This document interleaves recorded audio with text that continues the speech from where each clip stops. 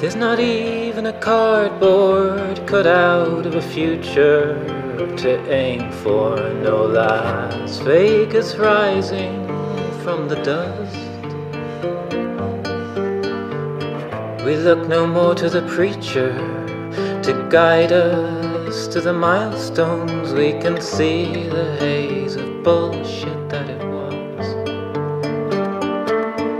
We're the first generation to believe in truth and science brought up fighting fantasy and lies.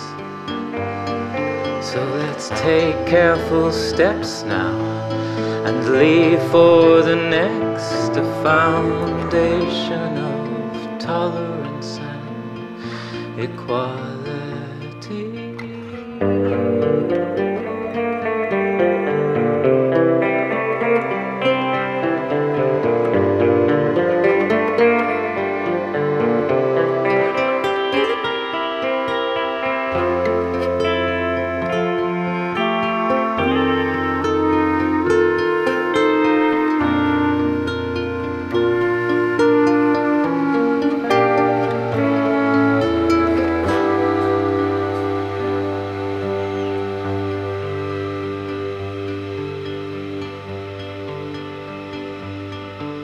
This spring we have a break to stop and reevaluate all that's important in our lives.